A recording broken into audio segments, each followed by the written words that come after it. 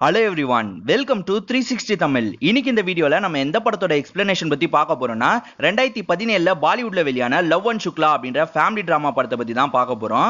இந்த படத்தை பார்க்கும்போது மிடில் கிளாஸ் மாதவன் அப்படின்னு தமிழ்ல ஒரு படம் வந்தது. அந்த படம் மாதிரியே தான் இருந்தது. அந்த படத்துல வடிவேல் விவேக் பிரச்சனையா இருப்பாங்க. இந்த படத்தை பொறுத்த வரைக்கும் வீடு தான் பிரச்சனையா இருக்கு.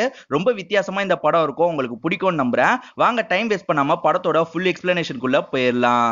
படத்தோட ஸ்டார்டிங் சீனே நம்ம ஹீரோ காட்டுறாங்க. நம்ம ஹீரோக்கு சோனாக்ஷி ஷின்கானா ரொம்ப பிடிக்கும். அவரோட ஆட்டோ முழுக்க அவங்களோட போட்டோவை தான் ஒட்டி வச்சிருக்காரு. இப்போ பாட்டு கேட்டுட்டு இருக்கும் போது ஒருத்தர் வேகமா ஆட்டோல ஏறி இந்த இடத்துக்கு போங்கன்னு சொல்றாரு. சாரி சார் அந்த இடத்துக்குலாம் போக முடியாது. ஏன்னா திரும்பி வரும்போது எனக்கு சவாரி கிடைக்காதுன்னு ஹீரோ சொல்றாரு. ப்ளீஸ்ங்க எங்க அம்மாவுக்கு முடியாம படுத்திருக்காங்க. நான் உடனே போனோம் அப்படின்னு சொன்னேன் இவரும் இறக்கப்படுறாரு. நான் டபுளா கூட காசு தரேன் அப்படின்னு சொன்னேன் சரி போலாம் அப்படின்ற மாதிரி ஹீரோவும் அந்த இடத்துக்கு வந்துட்டு இருக்காரு அந்த இடத்துல வந்து இறங்கும் போது தான் ஒரு விஷயம் நமக்கு தெரியுது. வர வழியில காசு என்கிட்ட சில்லறையா இல்ல சில்லறையா இல்ல அப்படின்னு ஹீரோ காசுல ஒரு நானூறு ரூபாய்க்கு வாங்கியிருக்காரு. மீட்டர்ல முன்னூத்தி இருபது காட்டும். அப்ப அறுநூத்தி நாற்பது ஒரு நானூறு. மொத்தம் ஆயிரத்தி நாற்பது ரூபா தானே? என்கிட்ட ரெண்டாயிரம் ரூபாய் நோட்டா இருக்கு. நான் சில்லறைய போய் எடுத்துட்டு வரேன். நீ இங்கே வெயிட் பண்றியா அப்படின்னு ஈரவும் வெயிட் பண்றேன்னு சொல்றாரு. இப்ப அந்த நபர் நடக்கும் போது சார் கொஞ்சம் சீக்கிரமா வாங்க. அடுத்தடுத்த சவாரி நான் போகணும்னு சொல்றாரு. நான் ரெண்டு நிமிஷத்துல வந்துருவேன். இங்கே இரு அப்படின்னு ஈரவும் வெயிட் பண்ண ஆரம்பிக்கிறாரு. வெயிட் பண்றாரு வெயிட் பண்றாரு. அந்த நபர் வர மாதிரியே தெரியல. என்னடா உடனே வரேன்னு சொன்னா இவ்வளவு நேரம் வரல அப்படின்னு யோசிச்சவரு டீயை போடலாம் அப்படின்னு டீ கடைக்கு வராரு. இன்னைக்கு அந்த ஃப்ராடு உங்களை தான் ஏமாத்தினானா அப்படின்னு கேட்கிறாரு என்னங்க சொல்றீங்க? எனக்கு சுத்தமா புரியலன்னு ஹீரோ கேட்கிறாரு நீங்க கூட்டு வந்து விட்டீங்களே அவன் சரியான ஃப்ராடு அம்மாவுக்கு உடம்பு சரியில்லை அப்படி இப்படின்னு காரணம் சொல்லி வர வழியிலேயே உங்ககிட்ட நிறைய செலவு பண்ண வச்சிருப்பானே அப்படின்னு இவரும் யோசிக்கிறாரு. அட பாவி என் காசுல ஏமாத்திட்டேடா அப்படின்ற மாதிரி யோசிச்சுட்டு இருக்காரு. சரி நம்ம போயெல்லாம் கேட்க முடியாது ஏன்னா அவ்வளோ பில்டிங் இருக்கு. அவன் எந்த பில்டிங்னு கூட நமக்கு தெரியாது அப்படின்ற மாதிரி யோசிக்கிறாரு. இப்போ நைட்டு ஃப்ரெண்ட்ஸ் கூட உட்காந்து சரக்கச்சிட்டு இருக்கும் போது சீக்கிரமா நம்ம ஹீரோக்கு கல்யாணம் ஆக போகுது எப்படிலாம் நடந்துக்கணும் அப்படின்ற விஷயத்தெல்லாம் ஃப்ரெண்ட்ஸ் பேசிட்டு இருக்காங்க இப்படி பேசிட்டு இருக்கும் போது ஒரு வயசானவர் இருப்பாரு. அவர் சிங்கிளா தான் இருப்பாரு. அவரும் சில அட்வைஸ் எல்லாம் பண்றாரு. அதுக்கு ஹீரோ என்ன சொல்றாருன்னா ஏன்யா மத்தவங்க அட்வைஸ் பண்றாங்கன்னா அதுல ஒரு லாஜிக் இருக்கு. ஏன்னா அவங்களுக்குலாம் கல்யாணம் ஆயிடுச்சு. உனக்கு தான் கல்யாணமே ஆகலையே. நீ என்ன அட்வைஸ் பண்ற? அப்படின்னு மாதிரி அந்த பெரியவரை கிண்டல் பண்றாரு. இப்ப நம்ம ஹீரோக்கு கல்யாணம் எல்லாம் நடந்து முடிஞ்சிருது. மேலதாளத்தோட ஒய்ஃபை வீட்டுக்கு கூட்டு வந்துடுறாரு. இப்ப அந்த ஏரியால இருக்க பசங்கலாம் இவங்க வீட்டுல ஃபங்க்ஷன்ல அதனால இவங்களே பார்த்துட்டு இருக்காங்க இப்ப ஹீரோக்கும் அடக்க முடியாத வெக்கம் வருது. நைன்டி ஸ்கிட்ஸா இருப்பாரு போல. அந்த அளவுக்கு வெக்கப்பட்டு இருக்காரு இப்போ அம்மா என்ன சொல்றாங்கன்னா ஒரே அலைச்சல்பா அப்படின்ற மாதிரி ரொம்ப டயர்டா உட்காந்துருக்காங்க எனக்கு ஒரு காஃபி போட்டு எடுத்துட்டு வா அப்படின்னா மருமக எந்திரிச்சு போறா. ஏமா அவளுக்கு எந்த பொருள் எந்த இடத்துல இருக்குன்னு தெரியாதுல்ல. நீங்க போட வேண்டியது தானே அப்படின்னு உனக்கு தான் எல்லா பொருளும் தெரியுமேப்பா நீ அது காஃபி போடுப்பா அப்படின்னு கிண்டலா சொல்றாங்க. இந்த அம்மாக்கு நம்ம காலை வாடுறதே வேலையா போயிருச்சு அப்படின்ற மாதிரி அமைதியாயிடுறாரு.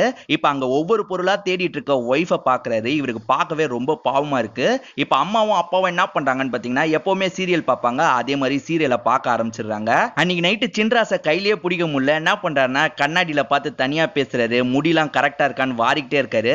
இந்த விஷயத்த அம்மா நோட் பண்றாங்க. நாடகம் தான் பார்த்துட்டு இருப்பாங்க. நீ நினைச்சதெல்லாம் நடக்காது. ஜோசியர் வந்து வேற நாள் தான் குறிச்சிருக்காரு. அதனால அமைதியா படு அப்படின்னு இவரோட முகமே மாறிடுது. அன்னைக்கு சோகமா படுத்துட்டு இருக்காரு. இப்போ ஒய்ஃப் பக்கத்துல படுக்கிறாங்க. ஜோசியராவது ஹைகோர்ட் ஆகுதுன்னு முடிவு பண்ண ஹீரோ என்ன பண்றாருன்னு பாத்தீங்கன்னா ஒய்ஃப் கிட்ட ரொமான்டிக்கா சில விஷயங்கள் பண்ண ஆரம்பிக்கிறாரு. ஒய்ஃபும் சாதாரணமா தான் இருக்காங்க. இவர் கூசுற மாதிரி ஏதோ பண்ணிடுறாரு. அவங்க என்ன பண்றாங்கன்னா சடனாக முழிச்சிடுறாங்க லைட்டாக கத்த வேற செஞ்சிருவாங்க. இப்ப லைட்டை போடுங்க அப்படின்ற மாதிரி மாமியாரும் லைட்டை போட வச்சு என்னமா ஆச்சுன்னு கேட்குறாங்க இவங்க சொல்ல முடியாம அப்படியே திணறிட்டு இருக்காங்க. பையனோட வேலைதான்றது இவங்களுக்கு புரிஞ்சிருது. அதனால என்ன பண்றாங்கன்னா நீங்க இந்த சைடு வந்து படுங்க அப்படின்ற மாதிரி பையன் பக்கத்தில் அப்பாவை படுக்க வச்சிடுறாங்க. இப்போ மறுநாள் வழக்கம் போல அவங்களோட வேலையை அப்பாவும் அம்மாவும் பார்க்க ஆரம்பிச்சிடுறாங்க. ஈரன் என்ன பண்றாங்கன்னா எல்லாருக்குமே காஃபி போட்டு எடுத்துட்டு வந்து தராங்க.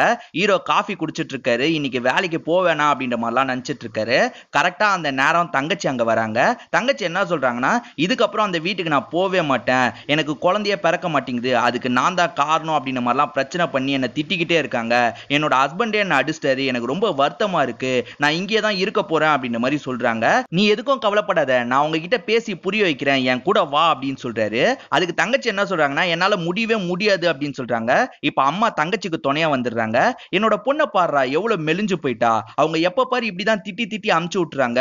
அவங்களா வந்து கூப்பிட்டோம். அப்போதான் உங்களுக்கு புத்தி வரும் அப்படின்ற மாதிரிலாம் பேசுறாங்க. அம்மா நான் அதுக்கு சொல்லம்மா நான் என்ன சொல்ல வரேன்னு பாத்தீங்கன்னா அப்படின்ற மாதிரி ஆரம்பிக்கிறாரு. நீ எதுவும் சொல்ல வேணாம்ப்பா. வேலைக்கு டைம் ஆயிடுச்சு பாரு. சீக்கிரமா கிளம்பு அப்படின்னு சொல்லிடுறாங்க. இவரும் செம்மையா அப்செட் ஆயிடுறாரு. இப்ப நாலு பேருமே உட்காந்து நாடகம் பார்த்துட்டு இருக்காங்க. இப்ப ஹீரோ ஒய்ஃபை பாக்குறாரு. அட பாவி வீட்ல இருக்கலாம்னு நினைச்சா அதுக்குள்ள வேலைக்கு அனுப்புறாங்களே அப்படின்ற மாதிரி சோகமா வராரு. இப்போ ஓனர் கிட்ட வந்து சாவி கேட்கிறாரு அவரும் ஷாக் ஆயிடுறாரு. என்னடா இப்பதான் கல்யாணம் முடிஞ்சது. அதுக்குள்ள வந்துட்ட அப்படின்னு ஆமா அப்படின்ற மாதிரி ஹீரோவும் சொல்றாரு. சரி போட்டோலாம் ஒட்டி வச்சிருக்கியா. அதெல்லாம் கிழிச்சு போடு. உன்னோட என்னோட ஒய்ஃப் பார்த்தா கஷ்டப்பட போறா அப்படின்னு சரி நான் பாத்துக்கிறேன் அப்படின்ற மாதிரி இவரும் வண்டியை ஓட்ட ஆரம்பிக்கிறாரு. வித்தியாச வித்தியாசமான கேரக்டர்லாம் வராங்க. அவங்களெல்லாம் சமாளிச்சுட்டு ரெஸ்ட் எடுக்கிறதுக்காக இப்ப பீச்ல உட்காந்துருக்காரு சரி ஒய்ஃப்க்கு கால் பண்ணுவோம் அப்படின்னு ஒய்ஃப்க்கு கால் பண்றாரு. இவங்க மூணு பேருமே அங்கதான் இருக்காங்க. ஒய்ஃபும் கொஞ்சம் தள்ளி வெளியே வந்து பேச ஆரம்பிக்கிறாங்க. மாமியார் நடுவில் நடுவில் நோட் பண்ணிக்கிட்டே தான் இருக்காங்க. அவர் என்ன சொல்றாருன்னா நேத்து நடந்ததுக்கு என்ன மன்னிச்சிரு. நான் வேணும்ட்டே பண்ணல. நீ கத்துவனும் நான் எதிர்பார்க்கல அப்படின்னு சொல்றாரு. உனக்கு என்ன பிடிக்கும்? என்ன பூ நான் வாங்கிட்டு வரேன்? அப்படின்னு கேக்குறாரு. அவங்களும் யோசிச்சுக்கிட்டே பூவோட பேர்லாம் சொல்ல வந்துட்டு இருக்காங்க இதை பார்த்துட்டு இருக்க மாமியார் சடனா வந்து போனை தாண்டுறாங்க. இப்ப இவங்களும் பயந்துகிட்டே போனை தந்தோன்னு உனக்கு அந்த பூ தான் பிடிக்குமா? நான் வரும்போது வாங்கிட்டு வரேன்னு சொல்றாரு. எப்பா பூ மட்டும் வாங்கிட்டு வந்துடாத. பருப்பு சக்கரை வீட்டுல சுத்தமா கிடையாது. அதுவும் வாயின் வா அப்படின்ற மாதிரி அம்மா சொல்றாங்க.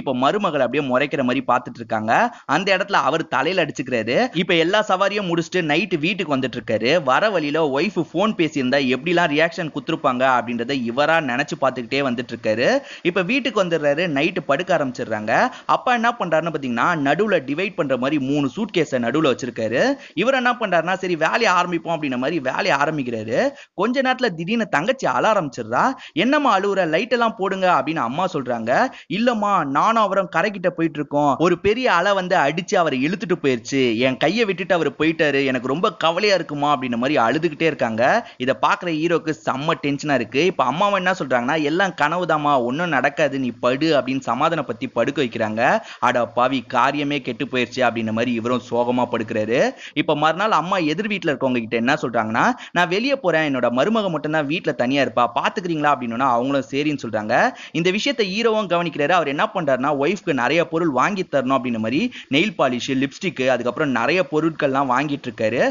இப்ப வாங்கினவர் என்ன பண்றாருன்னா நேரா வேலைக்கு போகாம வீட்டுக்கு வந்துடுறாரு. இப்ப வீட்டுல எதிர் வீட்டு அக்கா ஹீரோயின் கிட்ட பேசிட்டு இருக்காங்க. இவர் வந்தோடனே என்ன சொல்றாருன்னா அக்கா நான் பார்த்துக்கிறேன் என்னோட ஒய்ஃபை வெளியே கூட்டு போகிறேன் போறேன் அப்படின்னு சொல்றாரு. சரிடா இவர் ரொம்ப ஷை டைப்பாக இருக்கா? சேர்ந்த மாதிரி நாலு வார்த்தை கூட பேச மாட்டா அப்படின்ற மாதிரி அவங்களும் அங்கே வந்து கிளம்பிடுறாங்க. இப்ப என்ன பண்றாருன்னா ஒய்ஃப் ஆட்டோவில் கூட்டு போயிட்டு இருக்காரு. நம்ம எங்க போயிட்டு இருக்கோம் அப்படின்னு ஹீரோயின் கேட்குறாங்க நான் சொல்கிறேன் அப்படின்ற மாதிரி ஒரு ஹோட்டல் முன்னாடி வண்டியை நிறுத்துறாரு. இந்த ஹோட்டலுக்கு தான் நம்ம வந்திருக்கோம் அப்படின்ற மாதிரி ஒய்ஃபை கூப்பிட்டு ஹோட்டல் ரூம் வராரு. எனக்கு ஒரு ரூம் வேணும்னு கேக்குறாரு. அந்த நபரும் ரொம்ப அதிகமா விலை சொல்றாரு. என்னங்க இவ்வளவு அதிகமா சொல்றீங்க அப்படின்னா எல்லாம் அப்படிதான் அப்படின்ற மாதிரி அந்த நபர் சொல்றாரு. அவர் தப்பா புரிஞ்சுப்பாரு. அதனால தான் அப்படி பண்றாரு. இப்ப ஹீரோ என்ன சொல்றாருன்னா நீ இங்கேயே இரு. உனக்காக நான் சில பொருட்கள் வாங்கிட்டு வந்திருக்கேன் அப்படின்னு எடுக்க போயிடுறாரு. எடுத்துட்டு வந்தவர் பொறுமையா அவங்க பக்கத்துல உட்கார்றாரு எப்படி ஆரம்பிக்கிறது அப்படின்றது சுத்தமா அவருக்கு புரியல. ஏதாவது பேசலாமா? வேணாமா? அப்படின்னு யோசிச்சுக்கிட்டே இருக்காரு. இப்ப நர்வஸ் ஆனதுனால நான் பாத்ரூம் போயிட்டு வந்துடுறேன் அப்படின்ற மாதிரி அங்கிருந்து கிளம்பிடுறாரு. இப்ப ஹீரோயினுக்கு என்னெல்லாம் வாங்கிட்டு வந்திருக்காரு அப்படின்றத பார்க்கணும்னு ஆசையா இருக்கு. நடுவில் நடுவில் அதை பார்த்துக்கிட்டே இருக்காங்க. இவர் என்ன பண்றாருன்னா முகம்லாம் கழுவி ஃப்ரெஷ் ஆகி வந்து உட்கார்றாரு என்னோட ஃபேமிலி உனக்கு பிடிச்சிருக்கா என்னன்றது என்னன்றது எனக்கு தெரியல. ஆனா போக போக கண்டிப்பா என்னோட ஃபேமிலி உனக்கு ரொம்ப பிடிக்கும். என்னோட அம்மா வெளியே கோவப்படுற மாதிரி இருப்பாங்க. ஆனா உள்ளுக்குள்ள ரொம்ப அன்பு காட்டுவாங்க. நீ எதுக்கும் கவலைப்படாத. உன்னை நல்லபடியா பாத்துப்பாங்க அப்படின்லாம் சொல்றாரு. இப்ப அவர் வாங்கிட்டு வந்த பொருள்லாம் உங்களுக்கு காட்டிட்டு இருக்காரு. அவங்களும் ஆர்வமா பாத்துட்டு இருக்காங்க. இப்படி நடந்துட்டு இருக்கும் போது யாரோ கதவை தட்டுறாங்க. யாரா கதவை தட்டுறாங்க அப்படின்ற மாதிரி ஹீரோ வந்து கதவை திறக்கிறாரு. அங்க போலீஸ் கான்ஸ்டபிள் தான் நிக்கிறாரு. ஒழுங்கு மரியாதையா கீழே இறங்கி வாடா அப்படின்ற மாதிரி ஹீரோவை கீழே கூட்டு வந்துடுறாங்க. உன் கூட ஒரு பொண்ணு வந்திருக்காளே. அவளை எங்க இருந்தா கூட்டு வந்திருக்க அப்படின்னு கேக்குறாரு. சார் நீங்க தப்பா புரிஞ்சுக்கிட்டீங்கன்னு நினைக்கிறேன். அவ என்னோட ஒய்ஃப் அப்படின்னு ஹீரோ சொல்றாரு. யார்கிட்டடா போய் சொல்ற அப்படின்ற மாதிரி பலார்னு அடிக்கிறாரு. இவரும் கீழே விழுந்துடுறாரு. இப்போ பொறுமையா எந்திரிச்சு என்ன சொல்றாருன்னா நான் சொல்றது உண்மைதான் சார் நம்பலன்னா எங்களோட கல்யாண போட்டோ பாருங்க அப்படின்ற மாதிரி போட்டோ எல்லாம் காட்டுறாரு. ஏன்டா உனக்கு அறிவு இருக்கா இல்லையா? ஒய்ஃபை கூப்பிட்டு இந்த லாஜிக்காடா வருவ? இந்த லாஜை பத்தி உனக்கு தெரியுமா தெரியாதா? முதல்ல இங்க இருந்து கிளம்புடா ஒய்ஃபை கூப்பிட்டு அப்படின்னு சொல்றாரு. இப்போ ஹீரோவும் ஒய்ஃப் பக்கத்துல வந்து நிக்கிறாரு. அவங்களுக்கு லைட்டா வருத்தமா இருக்கு. இப்போ போற வழியிலலாம் ரெண்டு பேருமே பேசிக்க மாட்டாங்க ஒய்ஃப்க்கு ரொம்ப சோகமா இருக்கு. அமைதியா தான் வராங்க. வீட்டுக்கு வந்து அமைதியா உட்காடுறாரு கொஞ்ச நேரத்திலேயே ஃபேமிலி மெம்பர்ஸ்லாம் வந்துடுறாங்க. இப்போ வந்தவங்க ஹீரோயின் கிட்ட போறாங்க. என்ன இது புது சாரியா அப்படின்ற மாதிரி கேட்டுட்டு இருக்காங்க. என்ன சென்டெல்லாம் போட்டிருக்க போல? யார் வாங்கி தந்தா? இவன் தானே வாங்கி தந்தான் அம்மா நமக்கு என்னைக்காவது வாங்கி தந்திருக்கானா? அப்படின்ற மாதிரி தங்கச்சி ஜாலியா பேசிட்டு இருக்காங்க. அன்னைக்கு நைட்டு ஹீரோ படுத்து தூங்கிட்டு இருக்காரு. அப்ப யாரோ அழுவுற சவுண்டு கேக்குது. இவளுக்கு இதே வேலையா போச்சு? அப்படின்ற மாதிரி தங்கச்சியை பாக்குறாரு. தங்கச்சி அழுவுல. அதே மாதிரி ஒய்ஃபும் இருக்க மாட்டாங்க. எங்கடா போனா? அப்படின்ற மாதிரி வெளியே வந்து பார்க்கும்போது அவங்க வெளியே உட்காந்து அழுதுட்டு இருக்காங்க. இதை பார்க்கும்போது ஹீரோக்கு ரொம்ப கஷ்டமாயிருது. இப்ப மறுநாள் என்ன பண்றாருன்னா அவரோட வேலையை செஞ்சுட்டு இருக்காரு ஒரு பொண்ணை தான் கூட்டு வந்துட்டு இருப்பாரு இப்ப இறங்குற இடம் வந்துரும். அவங்க ரெண்டாயிரம் ரூபாய் நோட்டை எடுத்து நீட்டுறாங்க. மேடம் சில்லறை இல்ல அப்படின்னும் போது நீ தானே சில்லறை வச்சுக்கணும். அதுதானே உன்னோட வேலை அப்படின்றாங்க. நான் தான் வச்சிருக்கணும். ஆனா இல்ல மேடம் அப்படின்னு பேசும்போது அப்ப தர முடியாது. நான் கிளம்புறேன் அப்படின்னு மாதிரி நடக்க ஆரம்பிச்சிடுறாங்க. மேடம் காசை தாங்க மேடம் அப்படின்னு இவர் சொல்றாரு. என்ன தொட்டுலாம் பேசுற? உன்னோட ஆட்டோல ஹீரோயின் போட்டோ இருக்கும் போதே தெரிஞ்சது. நீ பொறுக்கியா தான் இருப்பன்ட்டு. இரு எல்லாரையும் கூப்பிடுறேன் அப்படின்ற மாதிரி அங்க வந்துட்டு இருக்கவர்கிட்ட சொல்றாங்க. இந்த மாதிரி மேலாம் கை வைக்கிறான் அப்படின்னு அவங்களோட ஃப்ரெண்டும் வந்துடுறாரு. அவரும் கேட்கிறாரு போடா முதல்ல வெளியே அப்படின்ற மாதிரி திட்டுறாங்க. இவருக்கு ஒரு மாதிரி ஆயிருது. என்னடா இப்படிலாம் கூட ஏமாத்துறாங்களே அப்படின்ற மாதிரி வருத்தப்படுறாரு. நம்மள ஒரே நிமிஷத்துல கெட்டவனாக்கிட்டாங்க அப்படின்னு யோசிச்சு அங்கிருந்து கிளம்புவாரு. இப்ப மாமியார் என்ன பண்றாங்கன்னா மருமக கிட்ட காய்கறி எல்லாம் எப்படி வாங்கணும் அப்படின்னு சொல்லி தராங்க நான் பக்கத்துல போயிட்டு வந்துடுறேன். சீக்கிரமா வாங்கி வை அப்படின்னு சொன்னோன்னா மருமகளும் பார்த்து எடுத்துட்டு இருக்காங்க. அப்ப தங்கச்சி இருக்கா பாத்தீங்களா? என்ன உங்களுக்குள்ள அதெல்லாம் நந்துச்சா இல்லையா? அப்படின்ற மாதிரி கிண்டலா கேட்கறா எனக்கும் என் ஹஸ்பண்டுக்கும் கல்யாணம் ஆகி ஒரு வாரம் நாங்க எதுவுமே பண்ணல தெரியுமா? அதுக்கப்புறம் தான் எல்லாமே நடந்துச்சு அப்படின்னு சிரிச்சிட்டு இருக்கா என்ன காய்கறி எடுத்து வச்சிருக்க? இதெல்லாம் நல்லாவா இருக்கு? சுத்தமா நல்லா இல்ல அப்படின்னு அதெல்லாம் எடுத்துட்டு வேற சில காய்கறி எல்லாம் வாங்கிட்டு இருக்காங்க.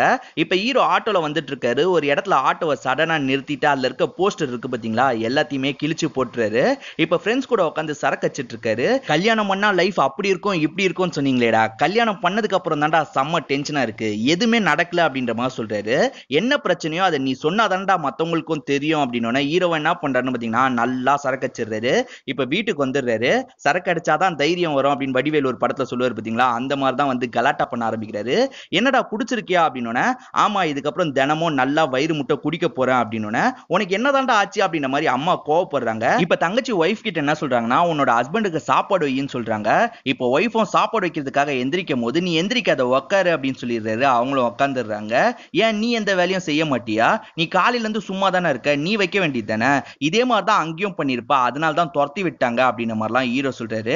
தங்கச்சியும் வருத்தப்படுறாங்க. இப்ப அப்பா என்ன பண்றாருன்னா ஒரு கிளாஸ்ல தண்ணி தராரு. இப்ப ஹீரோ அவரை பார்த்து சிரிக்க ஆரம்பிக்கிறாரு. அவரை தொட்டு கும்பிடுற மாதிரி பண்றாரு. அதே சமயம் அவருக்கு சல்யூட்டும் அடிக்கிறாரு. இதை பார்த்து அம்மா என்ன சொல்றாங்கன்னா உங்களை எப்படி கிண்டல் பண்றான்? இப்பயாவது ஏதாவது பேசுங்க அப்படின்ற மாதிரி சொல்றாங்க. அப்பயும் அவர் அமைதியா தான் இருக்காரு. இப்ப ஹீரோ என்ன பண்றாருன்னா அப்படியே போதையில சாயிற மாதிரி வேகமா ஹீரோயின் மேல விழ போறாரு. இப்ப ஹீரோனும் ஒதுங்கிடுறாங்க. அந்த இடத்துலயே படுத்துடுறாரு.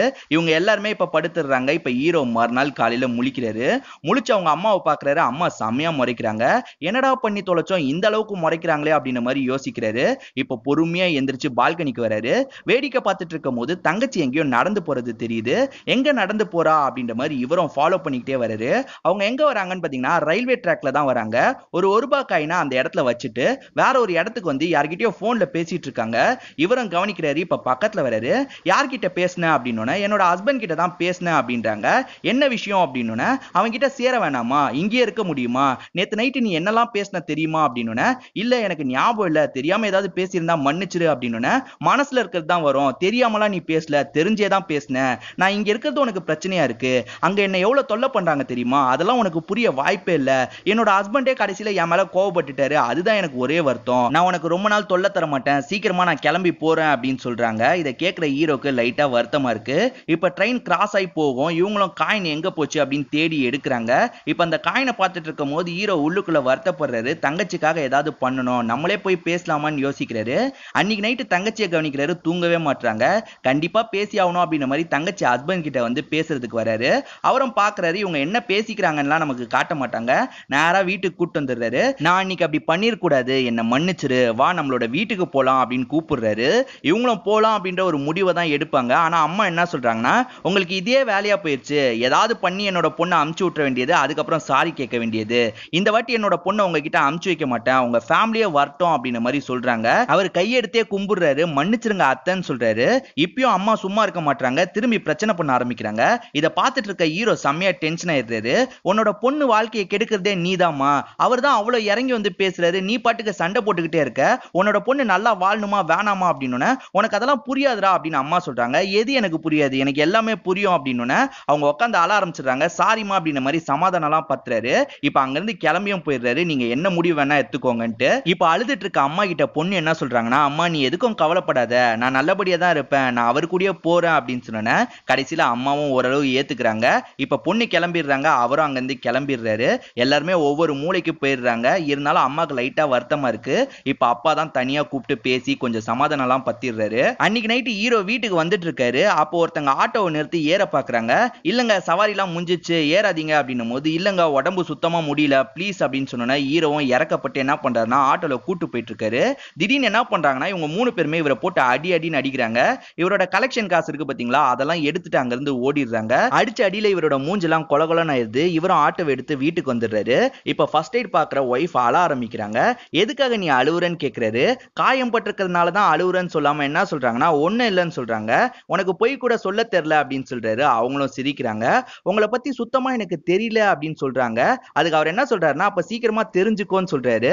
இவங்களை என்ன பண்றாங்கன்னா அப்படியே ட்ரீட்மெண்ட் எல்லாம் முடிச்சு அவருக்கு ஒரு முத்தம் தராங்க. அவர் ரொம்ப சந்தோஷப்படுறாரு. இப்ப மறுநாள் காலையில டீ போட்டு எல்லாருமே குடிக்கிறாங்க. இப்ப ஒய்ஃபை கூட்டிட்டு பீச்சுக்கு வந்துடுறாரு. ஈரன் என்ன சொல்றாங்கன்னா உங்ககிட்ட ஒண்ணு சொல்லவான்னு கேக்குறாங்க. தாராளமா சொல்லு. நீ ஏதாவது பேசணுன்றதுக்காக தான் உன்னை வெளியே கூட்டு வந்ததே அப்படின்னா அவங்களும் என்ன சொல்றாங்கன்னா கல்யாணத்துக்கு முன்னாடி ஃப்ரெண்ட்ஸ் அப்படி இப்படின்னு சொன்னாங்க. ஆனா கல்யாண வாழ்க்கை நல்லா தான் இருக்கு அப்படின்றாங்க. அதை கேட்ட ஈரவும் சிரிக்கிறாரு. இப்ப ஈர ஈரன் என்ன சொல்றாங்கன்னா உங்களோட ஷர்ட் நல்லா இருக்கு அப்படின்னு சொல்றாங்க. இவர் திரும்பி சிரிச்சிட்டு இருக்கும் போது வேற ஒண்ணு உங்ககிட்ட சொல்லவான்றாங்க. ஒவ்வொரு வாட்டியும் பர்மிஷன் வாங்க வேணாம். சொல்லுங்க அப்படின்னு எனக்கு சோனாக்ஷி பிடிக்காது அப்படின்றாங்க. ஏன்னு கேக்குறாரு. எனக்கு அக்ஷய் குமார் தான் பிடிக்கும் அப்படின்னு ஓ அப்ப அக்ஷய் குமாரா நான் மாறணுமா? அப்படின்ற மாதிரி இவரும் கேக்குறாரு. இப்ப ரெண்டு பேருமே சிரிக்கிறாங்க. இப்படி ஜாலியா பேசிட்டு இருக்காங்க. இதோட நமக்கு படத்தை முடிச்சிருவாங்க. இந்த படம் உங்க எல்லாருக்கும் பிடிச்சிருக்கும் நம்புறேன். இந்த வீடியோ உங்களுக்கு பிடிச்சிருந்தா லைக் பண்ணுங்க கமெண்ட் பண்ணுங்க. மறக்காம த்ரீ சிக்ஸ்டி தமிழ் சேனலை சப்ஸ்கிரைப் பண்ணுங்க. தொடர்ச்சியாக இந்த மாதிரி வீடியோக்கள் வந்துகிட்டே தான் இருக்கும்.